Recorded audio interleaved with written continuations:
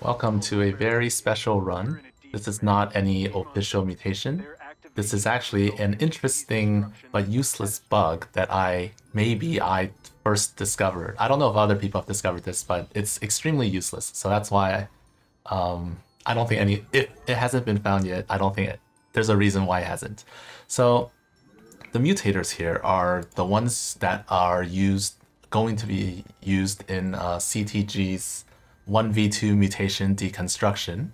And um, I discovered this while experimenting for that uh, event. And uh, I start off with the gateway because I don't need it. It's just going to block. This probe here is going to build a robo, and this probe here is hiding a base in the corner, uh, hiding cannons.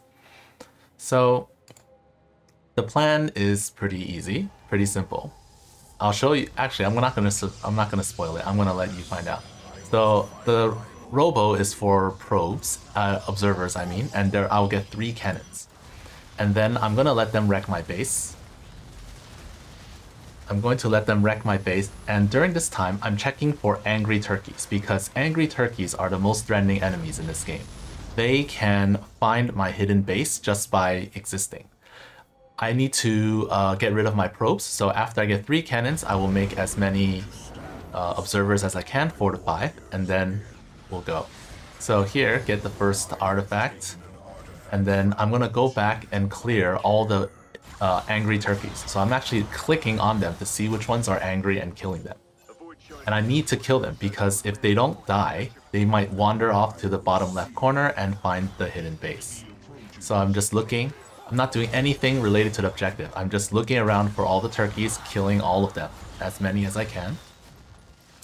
I'm going to spread observers so that I can uh, project cannons later. So I'm here again, I'm clearing all the angry turkeys that are near the, the main. The ones that are outside the main, they won't wander far enough to actually uh, enter the main area, so I'm gonna leave them alone. Like the ones on the left side, I'm gonna leave them alone.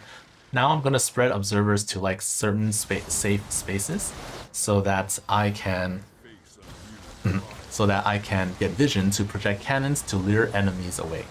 So for gifts and Void Rift enemies, if they don't have vision of any buildings, they don't actually move, so they're gonna stand there. And I'm not going to clear any Void Rifts because um, I, I need as many enemies on the map as I can. So now I'm gonna use the uh, Suppression Crystal and I'm going to destroy as many cannons as I can because I want to get rid of their detectors kill their detectors. And then I'm gonna start getting rid of the, the, the shards.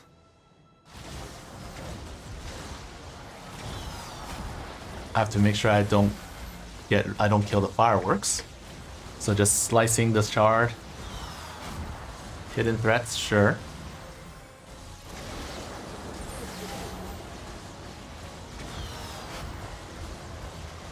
And uh, I'm not clearing any Void Rifts because I need all of them to keep spawning. I'm checking the life of the shard because I want, want the last one to die in just one swipe.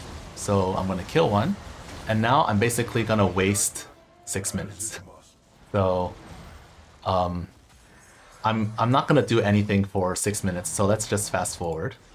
Um, one thing I did notice was that um, the air enemies, they kind of know where I am, so no matter where I go, they seem to follow me. Maybe because there's an observer, I'm not sure.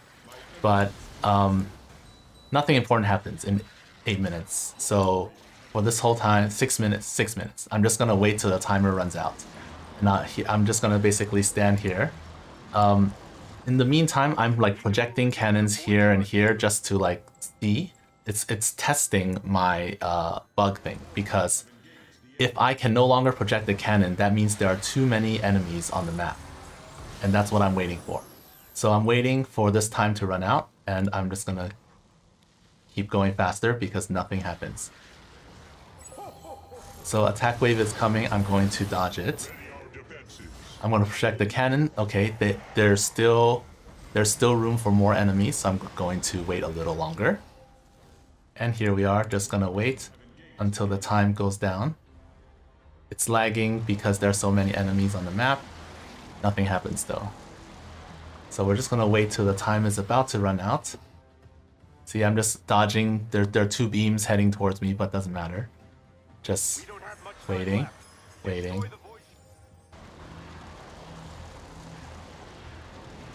Waiting, waiting, waiting. Okay. One minute. Still projecting cannons to see if it works. Yep, still can project the cannon. Alright. Cool. One minute left. Let's go down a little bit further. Okay, growing again. Alright. So, you see, all the enemies from the rifts, they go towards buildings. So I'm projecting... Oh, I thought...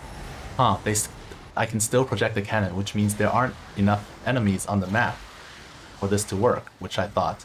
Then, uh, as time's running out, I'm just gonna go when it's like 10 seconds left, so I'm just waiting. I can't project the cannon anymore, so I thought, nah. Well, 10 seconds left, so I'm just gonna project the cannon. I can still project it, but let's see what happens. I kill it. And pay attention to this number. Six. As long as our minds are clear, Ten. What happened is there are so many enemies on the screen that the void shards couldn't spawn, and as a result, they just count as dead shards, and then I win. So, each shard has 5500 HP, and I did only 29,000 damage. So, yeah, interesting bug. Very, very useless in actual gameplay, but pretty cool nonetheless.